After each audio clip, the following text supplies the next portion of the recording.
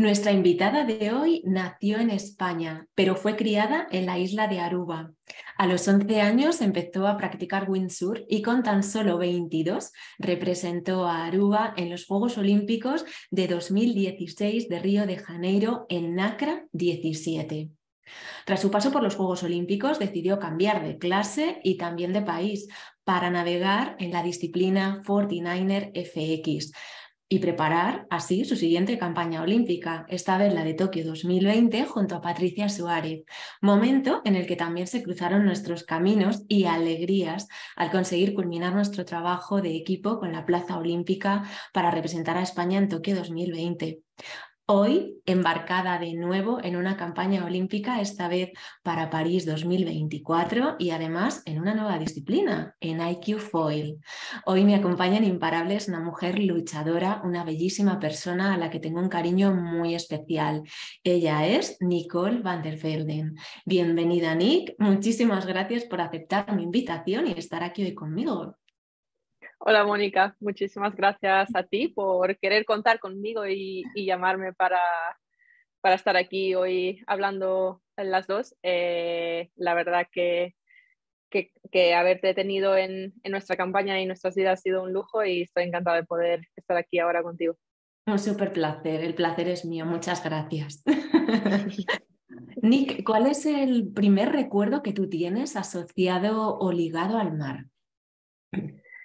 Eh, pues creo que, mis primeros grandes recuerdos vienen cuando, cuando nos mudamos a, Aruba, que claro, al ser una isla pequeña está rodeado por mar y, ves más azul que verde, porque además eh, al ser una isla muy seca, eh, casi, claro, es todo mar y cactus. Entonces ahí mi padre desde pequeño navegó mucho y, y, siempre ha estado muy ligado, ligado a la vela. Y él ahí es cuando nos comenzó a introducir como familia un poco más a la vela. Él y mi madre eh, navegaban juntos em, antes de tenernos a nosotros y, y, ahí es cuando nos involucramos como, como familia un poco más y, y cuando realmente comenzó mi pasión por, por el mar. Oye, ¿cómo pasas de tener esa pasión compartida familiar a que se convierta en, bueno, pues lo que es hoy tu modo de vida y, bueno, decides apostar por ello, por esta pasión y lo conviertes en lo que es tu profesión? ¿Cómo das ese paso? Pues creo que es algo en mi caso que fue bastante poco a poco eh, y bastante paulatino. Eh, comenzó con navegando con mi padre, luego yo eh, aprendí a hacer tabla y teníamos ahí un grupo de amigos eh, muy guay y teníamos una competición cada año. Entonces, claro, ahí es como donde nació mi, el placer también por la competición y por estar ahí empujando con tus amigos día a día. Em, y nada, fue, fue creciendo así mi, mi, sí, mi, mi amor por, por, la competición también en la vela y tuve eh, el honor de, de representar a Aruba en los Juegos Olímpicos Juveniles que fueron en Singapur en 2010, eh, que nos dieron como un, al ser una isla pequeña, nos dieron, lo llaman un wildcard, que es como una invitación eh, que hace el Comité Olímpico para que puedan ir atletas de islas pequeñas. Entonces habían dado uno eh, al, a la vela. Y ahí es donde realmente aprendí a navegar en un periodo muy corto de seis meses que me acuerdo que fue de repente, claro, eh, aprender a entender de verdad cómo funcionaba todo, eh, la vela, el profesionalismo, y creo que ahí es donde para mí despertó realmente el haber estado ahí, estar también con muchos, porque éramos eh, deportistas entre los 16 y 17 años, y ver como toda esta gente que llevaba ya tantos años em, compitiendo y, navegando a alto nivel, que venían de países en el que desde pequeño ya están, están muy involucrados con la vela, ahí es donde para mí nació el, vale, eh, quiero seguir este camino y, me gustaría ver a dónde me puede llevar y hasta dónde consigo llegar. Mm, y luego fíjate, ¿no? O sea, porque una de las cosas que a mí me parece súper interesante, ¿no? De tu trayectoria profesional es que, bueno, te has ido embarcando prácticamente en todas las campañas olímpicas. Pero es que además en cada una de ellas, en una disciplina distinta, ¿no? De, ¿Cómo, mm, ¿Qué es lo que te motiva a, bueno, pues primero a seguir ahí muy duro, ¿no? Preparando esas campañas y segundo, esos cambios. Pues la verdad que de cada mm. una aprendes algo totalmente distinto, ¿no? Porque además uno ha sido una campaña en una clase mixta, otra una campaña en la que éramos dos chicas y ahora estoy navegando en una clase sola. Mm. Entonces, en ese aspecto ya hay un cambio grande y luego también, claro, estaba el cambio de clase. Para mí el catamarán es un poco más con lo que crecí de pequeña, eh, que es con lo que aprendí a navegar mm. con mi padre. Obviamente no tan espectacular como es el NACRA, que, que es el catamarán olímpico, eh, pero claro, ahí como que mi pasión por, por el catamarán y por navegar en, en barcos rápidos eh, siempre ha estado ahí, entonces, claro, siempre me he ido moviendo hacia, hacia ese tipo de modalidad. Tuve la suerte de en el NACRA encontrar a, a mi tripu y, y, de poder haber hecho esa campaña inicial eh, que para nosotros también fue, fue muy exitosa. Y de ahí la verdad que las cosas fueron un poco surgiendo sobre la marcha. Eh, creo que en esa campaña es, me, nació mi atracción por el 49er, que creo que es una clase muy espectacular también y mm. que atribuye muy bien el atletismo y, la perfección y, también la velocidad al final. Y, nada, eh, después de Río como que quise enterarme más de, vale, ¿qué es este barco? ¿Me gusta? ¿No me gusta? Y claro, me enamoré y, pues nada, a cambiar. Eh, también el NACRA estaba yendo por un cambio porque iba a ir de no foiling a foiling, eh, o sea mm. que iban a cambiar un poco mm, todo el, o sea, la estructura del barco y eso iba a tardar, era, iba a ser un proceso de un año. Entonces también esa clase desapareció un poco por ese año y yo al realmente estar todavía fomentándome como deportista, no me podía permitir, por así decir, no navegar un año. Eh, y ahí es donde me enganché al 49 que fue lo que me llevó a, a la campaña de Tokio. Y además que te llevó también a cambiarte de país, ¿no? Al país que te vio nacer. Te viniste para aquí, para España. sí, sí, sí, eso fue una, una decisión que tomé después de, de Río, que la verdad que eh, lo tenía ya en mente bastante tiempo, eh, pero al final siempre me he sentido muy identificada y, y muy unida al país. Eh, lo veía en cosas pequeñas, pero siempre estaba ahí dentro de mí. Eh, y claro, al final a, nivel de, posibilidades y, de todo también, obviamente, hay muchísimas más posibilidades. Y, entre que me sentía muy identificada y, todas estas posibilidades nuevas, claro, he dicho, mira, que, quiero volver a, a, a, ese país y nada, también llevo ya viviendo otra vez en España siete años ahora. Mm. Eh, estoy encantada. y ahora a tope ahí con esa campaña ¿no? de, de IQ Foil, podríamos decir ¿no? Eh, de, tus palabras que lo que realmente te atrae, o bueno, esto lo digo yo, tú me corriges, es la velocidad, ¿no? Porque fíjate, ¿no? te decía cómo no este cambio a estas distintas clases y que son aparentemente diferentes, ¿no? Pero comparten quizá ese, ese, elemento común, ese denominador común es la velocidad en el, en el mar, ¿no? Es como esa Fórmula 1, pero llevada al agua. Totalmente, totalmente. A mí lo de la velocidad en el agua siempre me ha encantado desde pequeña. Eh, y sí, claramente me he ido moviendo por ese camino. Y claro, ahora el IQ Foil, que, que es un windsurf volador, Claro, yo cuando vi ese cambio eh, dije, tengo que intentarlo, tengo que ver qué es esto. Y la sensación de ir volando sobre el agua, la sensación de adrenalina también de, de empujarte mental y físicamente, eh, me, enganchó, me enganchó muy rápidamente. Nick, em, dentro de, como decíamos, ¿no? de, de estos cambios, em, ¿cuál dirías tú que, ha sido el momento o el mayor reto que has tenido a lo largo de estos años eh, y cómo lo has superado? Esa es una pregunta muy difícil, eh, porque para mí, sinceramente, cada campaña ha tenido como sus retos personales, ¿no? En,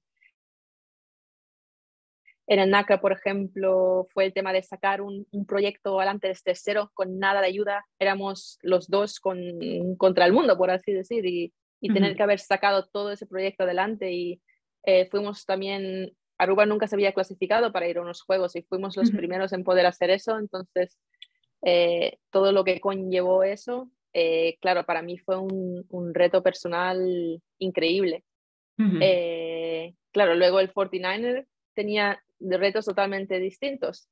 Eh, por ejemplo, para mí ya tuve que cambiar de idioma en el barco, ya, ¿sabes? Ya habían como cosas distintas de pareja, que tienes que conocer a alguien nuevo. Eh, ya era como un tema de perfeccionismo mucho más eh, intenso en todos los ámbitos, a nivel de comunicación, a nivel de navegar, a nivel de todo. Entonces, claro, ya como que has escalado. y luego en el IQ-Foil al de repente encontrarte sola. Eh, porque claro, yo he estado navegando con alguien a mi lado siete años. Mm. Eh, y el de repente encontrarme una tabla en la que todo lo tengo que hacer yo, eh, tanto en el agua como en tierra, como, no sé, también es, sí, es una, o sea, una sensación como de miedo y de confrontamiento también de, vale, todo lo bueno, lo malo, todo soy yo, solamente yo.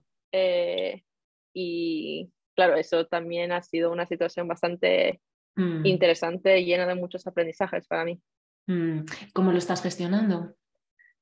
Em, pues también gracias a nuestro trabajo juntas, eh, me llevó mucho por el camino de, del mindfulness, de la meditación, de, de como ese estudio personal, de entender qué está pasando dentro de mí, de cómo, de trabajar con la respiración, de sí, como ese trabajo más meditativo, por así decir, eh, que he ido bastante por ese camino y no solo a nivel de competición, pero también a nivel personal siento que ha sido un crecimiento mm. increíble.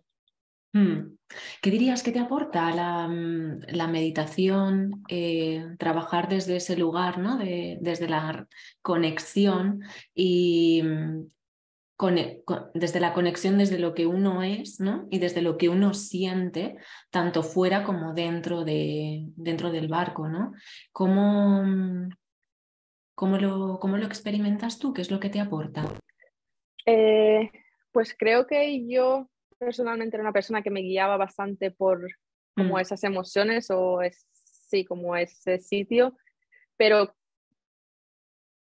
creo que esto me ha dado muchísimo entendimiento de, vale, qué es lo que está pasando entre mí, qué pensamientos, qué mm. acciones me generan, qué tipo de emociones, cómo esas emociones, qué efecto tienen esas emociones dentro de mi cuerpo, dentro de mi reacción, por qué reacciono de repente así. Eh, sí, es como una sensación de observador, ¿no? A veces sobre qué es lo que estás haciendo, eh, que yo creo que te da muchísima claridad.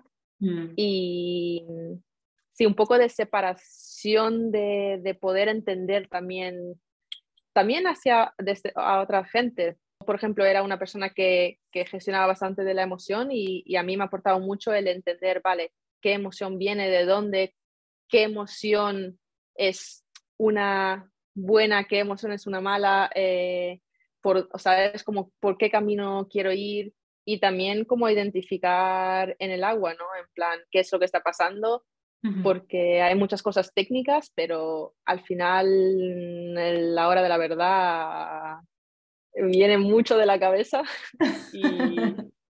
y, claro, el ser consciente y darte cuenta de eso creo que, que es una gran parte. Hay asociado ¿no? un fenómeno que se llama el fenómeno del flow, que está asociado a esa experiencia, ¿no? A, esa ausencia de pensamientos y de conexión con el, bueno, en este caso con el medio, con, con el mar. ¿Has podido experimentarlo en, en tu trabajo durante estos eh, meses, años ya de, de trabajo? Yo creo que es un estado bastante único y, y bastante difícil de, de, conseguir porque creo que somos tan analíticos que, que claro, nos sacamos de este estado continuamente. Eh, es algo al que yo aspiro y he aspirado, em, pero creo que, que, es un tema bastante complejo y ahí viene el tema de, de la atención, ¿no? De poder de verdad estar totalmente absorbido por, por lo que estás haciendo eh, y, que tu atención esté plenamente en eso. Creo que he tenido momentos de, de, tener este estado, de estar en este estado, que de repente terminas una manga y dices, es que no ni pensado, es que sabía dónde estaba el viento, sabía qué estaba pasando, como una sensación de, de, entendimiento completo em, que muchas veces perdemos por estar intentando analizar cada paso a cada momento. Por estar enredados en ese, en ese pensamiento ¿no? que decíamos, ¿no? de qué me llega, cómo lo analizo y bueno, en vez de de alguna forma, ¿no? Utilizar ese pensamiento para desde ahí fluir, entender cómo forma parte de todo, de, ese todo, ¿no? Sí, al final llega un momento que, mm. en ese estado te tienes que dejar llevar porque si no, nunca vas a poder estar en ese estado. Eh, creo que los deportistas de, muy alto riesgo, que de verdad mm. es alto riesgo de verdad, eh, por ejemplo, los que escalan eh, sin cuerda ni nada, o están en el estado de flow, o es que no, lo ven, no, no ven dónde pongo la mano, dónde... Y sí, es una cosa bastante, bastante interesante, la verdad. Mm. Oye, del trabajo que realizamos juntas, de nuestro, del camino que recorrimos, bueno, las tres juntas, le enviamos un beso súper fuerte a, a ha sido gran parte de eso también. la verdad es que sí, fue súper emocionante. ¿Qué, ¿Qué, te llevas tú de, de, ese, de ese, camino que, que, anduvimos juntas? Creo que a mí, a mí esa campaña y, nuestro trabajo juntas específicamente me dio un, un montón de aprendizajes a nivel personal, diría más como en tema de, mindfulness, de entendimiento, de también seguir como por ese camino, ¿no? De, mm. de entender más qué es lo que pasa dentro de mí y, ser mm. muy objetivo, ¿no? De, que es una cosa que trabajábamos mucho, de, vale, ¿qué es como tu, tu visión objetiva de entender cómo estás reaccionando, cómo estás haciendo, o qué está pasando? Eh, y luego también a, nivel de equipo creo que muchísimo el tema de, la comunicación, del respeto, de, cómo sí, trabajar en el equipo y, entenderse y ser honestos. Eh, creo que mm. la honestidad es, es un tema que, me he llevado y el poder hablar las cosas y poder hablar las cosas cuanto antes. cuanto antes mejor y cuanto más sincero y sin demasiada emoción. Como me gusta decirlo a mí, ¿no? Desde una manera amable, pero comunicándose, ¿no? Sí, sí creo que la emoción ahí es como el mayor factor, ¿no? Mm. De, de poder decirlo desde una emoción positiva y, mm. y, yo creo que muchas veces al final, claro, hay muchísima presión y, y, obviamente todo el mundo está intentando dar su mejor versión mm. y creo que ahí muchas veces es fácil de quedarse enganchado, ¿no? En, en mm. como el problema mm. y el entender, intentar resolver las cosas desde una visión positiva. Sí, justamente iba a contextualizar ¿no? a las personas que nos escuchen eh, cuando hablamos, ¿no? pues estamos hablando de una disciplina o de una clase en la que las cosas suceden de una manera muy rápida ¿no? y donde hay, donde hay una gran velocidad y donde se tienen que tomar las decisiones y las acciones de una forma muy rápida, ¿no? muy ágil por eso ¿no? Em, traíamos esa, esa parte de, de, la importancia de la comunicación, ¿no? que, que, en un momento en el que hay mucha presión, cómo gestionas esa comunicación para que sume al equipo, ¿no? para que eh, al final sea un, bueno, pues, eh, sea un sumar, sea aportar un mayor conocimiento y haciéndolo, bueno, pues como decíamos, ¿no? en esa situación, en esos contextos de alto voltaje, haciéndolo desde el amor, desde, bueno, pues desde, desde el respeto, desde la honestidad, desde, desde la transparencia y, al final pues aportando ese, esos datos, ¿no? hablábamos mucho ¿no? de, esa parte de aportar datos para poder crecer y para poder superar eh, ciertas situaciones que se podían dar en un futuro, ¿no? Sí, mm. totalmente, la has clavado. Eh, Nick, ¿cuál es el logro de a lo largo de estos años del que más orgullosa estás? ¿Qué es lo que con qué te quedarías de lo que has vivido?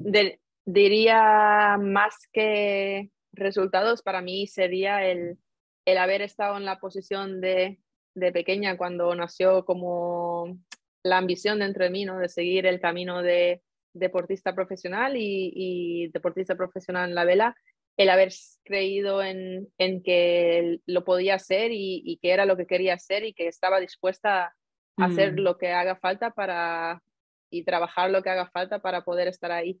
Mm. Y, el haber como buscado las oportunidades y, y haber trabajado en, en, todos esos momentos duros también, ¿no? De seguir mm. confiando y creyendo que, que podía llegar. Yo estoy muy orgullosa de ti. La verdad es que haberte, visto eh, crecer, haberte visto eh, avanzar, verte ahora en una nueva clase y como decías, ¿no? Con ese, ese cambio de estar ahí sola, donde ahora ya todo depende de ti, ¿no? Y donde mm, pues requiere de tener, bueno, pues eh, de alguna manera, ¿no? Es como entre comillas, una mayor responsabilidad, ¿no? Porque cuando vas en equipo es otro rollo, pero cuando uno está solo, pues, pues es importante tener, o sea, ser, escuchar, ¿no? Y yo creo que, bueno, tú eres una mujer súper valiente, lo estás haciendo genial. Gracias. Y vas a seguir ahí a tope y de verdad que muchísimas felicidades. Yo estoy muy orgullosa de ti. Muchísimas gracias. No sabes cuánta ilusión me hace escuchar esto por tu parte. Nick, eh, ¿cuál es tu combustible? Mi combustible, el café.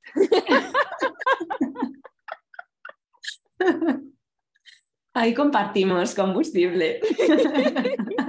El café, claramente. Oye, ¿y cómo encuentras el equilibrio cuando hay esos momentos ¿no? en los que, bueno, ha sido todo como un poco como lo llamo yo, ¿no? Entrar un poco en el ojo del huracán, que ha sido una competición complicada o que ha sido un momento de, pues, de alto voltaje. ¿Cómo encuentras tú el equilibrio? Igual me imagino por dónde va la respuesta, pero no sé. Eh, sí, la verdad que, que de primeras, para mí es, claro, al final, bueno, no sé, no sé cómo está nuestra gente, pero al final hay como una, claro, lo vives tanto que hay una parte emocional, ¿no? A la que, la que de primeras como que tienes que, que aceptar y, y, vivir y sentir y, y entender también, creo. Eh, entonces creo que para mí hay una parte importante ahí de como, vale, entender y también dejarte sentir esas emociones, ¿no? Creo que es natural que, claro, cuando estás tan metido en esto y, toda tu vida va en torno a, un cierto resultado, ¿no? Un, objetivo, es normal que, tengas emociones cuando, cuando no lo consigas, ¿no? O, las cosas van mal o, sí, que pasan cosas. Em, que las cosas no salgan como uno esperaba, ¿no? Exacto, exacto. Que ahí están las expectativas. Muy bien. Eh, em, pero sí, creo que para mí hay una parte importante ahí de también como de aceptarlas, ¿no? Y dejarte sentir y vivirlas también, porque eh, creo que apartarlas a un lado también luego a largo plazo, o sea, para mí no, no funciona. Eh, y, una vez también vivido eso, ¿no? El, poder ser objetivo, en plan, vale, ¿de dónde viene esta emoción? ¿Qué ha pasado? Eh, ¿Qué ha sido el fallo? Y, y, mm. de poder, al final, hay, hay, ahí viene el tema de la meditación para mí, ¿no? De poder mm. observarlo, entenderlo y, y, y, poder hacer un cambio, ¿no? Y, y creo que el entendimiento de, de qué ha pasado al final Mm. Claro, el deporte profesional termina siendo un tema bajo presión, ¿no? Es, es mm. tan mental que, que, hay mucha parte que, que, analizar y que entender y que asimilar mm. por ahí. Sí. Eh, y también entender si, si, ha sido algo mental o, o, algo técnico o algo de... Es que hay muchas cosas, algo físico eh, y, y, saber que, por dónde hay que seguir, ¿no? Sí, hijo, me parece, o sea, has, apuntado como tres conceptos que, me parece súper interesantes. ¿no? El primero es la gestión de las expectativas, ¿no? Es decir, bueno, em, en esos momentos en los que, bueno, pues las cosas no salen como, como uno espera, como uno quiere, ¿no? Primero, ¿Qué, qué, expectativas en qué expectativas me he colocado antes de esta competición? ¿Eran reales o estaban por encima de mis posibilidades? ¿no? ¿Lo he diseñado o lo he eh, sí, lo he diseñado correctamente, este objetivo hacia el que me he embarcado, ¿no? El segundo está, vale, puede que sí, puede que haya hecho una buena gestión de las expectativas, pero que las cosas no hayan salido como esperaba, con lo cual el primer enfoque, ¿no? Es la aceptación, vale, esto es lo que ha pasado, As, eh, asimilémoslo cuanto antes mejor y ahora que ya sabemos que esto es lo que ha pasado y que lo aceptamos, vamos a ver dónde está el área de mejora. tiene que ver con la parte mental, tiene que ver con la parte física, tiene que ver con la parte técnico-táctica, Y de ahí, después del análisis, buscar el aprendizaje y la mejora continua, ¿no? Una vez que he detectado por dónde tengo que tirar, cuál es el hilo del que tengo que tirar, cómo desde ahí busco el aprendizaje y por supuesto el cambio, ¿no? Porque decíamos, ¿no? Si seguimos haciendo las cosas de la misma manera, pues obtendremos siempre los mismos resultados, ¿no? De tal manera que si realmente queremos provocar otro tipo de acciones, que sucedan otro tipo de cosas, tendremos que cambiar un poco tirando de esa raíz, ¿no? Así que, qué guay eh, escucharte decirlo y que, que lo tengas. Una cosa es decirlo, otra cosa es poder ponerlo siempre en práctica, ¿eh? Vamos bueno, pero ahí es donde está el reto también, Nick, ¿no? O sea... Exactamente. Ahí es donde está el reto también y yo creo que tener esa mentalidad, eh, tener integrada esa forma de pensar, tener esa mentalidad es, mm, bueno, pues es muy guay porque es la que te abre puertas, ¿no? Para que cuando, en este caso, pues como decíamos, ¿no? Cuando las cosas no salen como, como esperas, pues que puedas retroalimentarte de una manera positiva y buscando soluciones, ¿no? Claro, al final el tema es de, de mm. ir mejorando y aprendiendo de cada mm. situación. Y, y, si no aceptas una situación anterior de la que puedes aprender, al final es muy fácil quedarte como atascado, ¿no? En esa mm. emoción o ese enfado. sí. Siempre decían, bueno, se dice, ¿no? Que se aprende más de las derrotas que de las victorias, siempre y cuando, cuando hay una derrota, te pares a pensar, ¿no? Y a reflexionar sobre qué es lo que puedes cambiar para seguir mejorando. Totalmente. Es que al final también creo que, que viene como las emociones extremas, ¿no? Todo lo que mm. te genere una emoción extrema, tanto buena como mala, al final es donde más cosas vas a sacar porque hmm. se te queda mucho más grabada en el cerebro. Totalmente. Y claro, una, una negativa muchas veces se nos queda más que, que una positiva, ¿no? Sí, sí, es como casi siempre, sí, pero casi siempre solemos tendemos a ver el vaso medio, medio vacío en vez de medio lleno, ¿no? Es ese enfoque de... sí, sí, sí. Es así, es así. Nick, em, ¿cuál dirías que es para ti la clave del éxito? La clave del éxito. Sí, la clave del éxito. bueno, primero que preguntamos por éxito y luego, eh, claro. ¿qué dirías tú que es la clave? Porque claro, igual mm, el éxito. Es que yo diría, sí, eh, es un poco como como el tema, la, la pregunta de los resultados, ¿no? De tu mayor logro. Creo que al final para mí el éxito va por el mismo camino, que, que sí, obviamente aspiramos a esa medalla, ¿no? A, a, a estar ahí en París, a, a ganar la medalla y, y, obviamente es lo que trabajas y, y, es lo que quieres. Pero para mí sería mucho más exitoso un, una campaña en la que igual no logras eso, pero pero en la que sí, como puedas inspirar a gente, ¿no? Y puedas como dejar algo atrás que, que impacta y también a nivel personal de, de, crecimiento y, y, entendimiento personal, eh, que en algo que igual, no sé, te puedas ir por un camino como más, sí, en, en, el que igual no se fomentan tanto esas cosas y, y que te lleve a, a un, ¿sabes? El, obtener esas medallas, pero mm. sin todas esas cosas igual, o sin mm. como esa, ese crecimiento a nivel personal tan mm. completo igual, no sé cómo explicarlo. Sí, sí, sí, o sea, em, el éxito no es parte del camino, es decir, es hacer ese camino disfrutando de cada una de las distintas etapas, quizá, o de los distintos momentos, ¿no? Y que si se llega a conseguir esa medalla, pues que sea esa medalla, pero con todo lo que hay detrás, ¿no?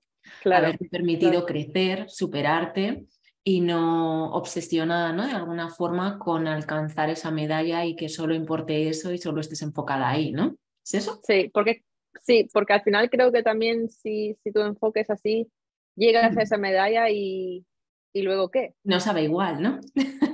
¿No? Como, claro, mientras que creo que como que es, al final es un tema de enfoque, ¿no? De, de querer el mismo objetivo, pero de la manera que lo enfocas. Hmm. Eh, y para mí, llegar a, obviamente en los dos casos, el, o sea, es llegar a ese objetivo, pero para mí sería exitoso llegar a ese objetivo con el enfoque que a mí me gustaría tener, ¿no? Y, hmm. lo que a mí me gustaría transmitir y, y crecer a nivel personal. Hmm. Nick, hasta aquí la parte para conocerte en tu faceta profesional. Quiero lanzarte cuatro preguntas más personales. ¿Te apetece ir a por ellas? A ver, a ver por dónde me sales. Muy facilonas. ¿Cuál es tu peli favorita, Nick? Mi peli favorita. Sí. The Last Song. No sé si la conoces. The Last Song, ¿no? Es de un libro de Nicholas Sparks. Es muy de amor y muerte y muy mm. cookie. creo que la he visto como 20 veces, así que tiene que ser esa. Mm, yo creo que sí, que por ahí van los tiros. Siempre lloro con la misma película, o sea que... Nick, eh, ¿con quién te gusta compartir una conversación? De estas de café, mantita o de, bueno, ¿no? O de mirarte cara a cara y compartir una conversación que, que te nutre. ¿Con quién? Es que, es que ahí no puedo contestar solo una persona. Puedes contestar varias. es que... O algo que final, todas ellas. Es que ahí al final creo que depende mucho, ¿no? Claro, tengo mis amigos y mi familia y, y, luego también, claro, como con todo el tema de la meditación también hay como mucha gente interesante, ¿no? Con la que me puedo imaginar que me gustaría tener una conversación o gente que ves por ahí que te inspira, que, que sería, esta persona me encantaría poder sentarme y tener un café con esta persona. Ahora te me parece una, Ahora te una pregunta complicada. porque eso va en la cuarta pregunta. Eh, Nick, ¿qué es lo que más te gusta del lugar donde vives? Creo que la diversidad, la diversidad mm. que, que, tiene. Eh, bueno, yo vivo en Santander em, y para mí él es un sitio que lo tiene todo. Tiene el mar y, al tener el mar tiene también la bahía y el mar abierto, ¿no? Que tiene tanto mm. tema de olas y, y mar plana y hay viento, hay surfing. Eh, tienes las montañas a nada, eh, tienes el golf, que hay un montón de golf por ahí también, nueva ficción. Em, tienes todo, o sea, para mí es un, un sitio muy completo y luego también como ciudad, ¿no? Me, me encanta lo que transmite, eh, sí, es, es, como el balance perfecto para mí entre ciudad y, tranquilidad, ¿no? Y como sensación de pueblo también un poco aún. Bueno, y la cuarta pregunta, eh, Nick, eh, ¿con quién, bueno, con quién te gustaría compartir esa conversación que te inspire o a quién te has encontrado últimamente que te haya inspirado? Esto lo podemos enfocar de dos maneras. ¿A quién te, a quién te has encontrado que te haya inspirado últimamente? ¿O quién te inspira y te apetecería mogollón tener esa conversación? es una, es que son preguntas difíciles, ¿eh? Me gustan más las otras preguntas. son de pensar un poquillo. Déjame pensar, déjame pensar. O sea, tengo una persona en mente que, mm. que he leído, o sea, he seguido mucho y también he leído libros suyos y, y es una persona que, que, me interesa mucho lo que, lo que transmite, que se llama Joe Dispensa. Mm. Eh, no sé si le conoces. Sí. Eh, entonces, para mí, como todo este camino ha comenzado Mm. mucho también a raíz de leer su libro y, y ver una serie que tiene él y, y todo, entonces tendría que decirle él sí o sí. Eh, luego hay, hay más gente ahí, pero Pero este es el... dejarlo ahí. Me intriga, Bueno. me intriga, me intriga. Bueno, Nick, pues muchísimas gracias por tu tiempo, por tu generosidad. Espero que, pues, que haya disfrutado un montón esta entrevista. Yo me he divertido mucho, he recordado viejos tiempos, me ha hecho mucha alegría. Yo Y también, yo también. Millones de gracias, de verdad, por tu tiempo. Espero que nos volvamos, que la vida de nuevo nos vuelva a cruzar pronto. Eso es segura, no tengo ninguna duda que estaremos ahí las dos. Un besito muy, muy, muy fuerte. Que tengas un día A ti también. bonito. Un besito. Muchísimas gracias a ti, Mónica, por todo lo que haces. Chao. A ti. Chao, chao. Chao.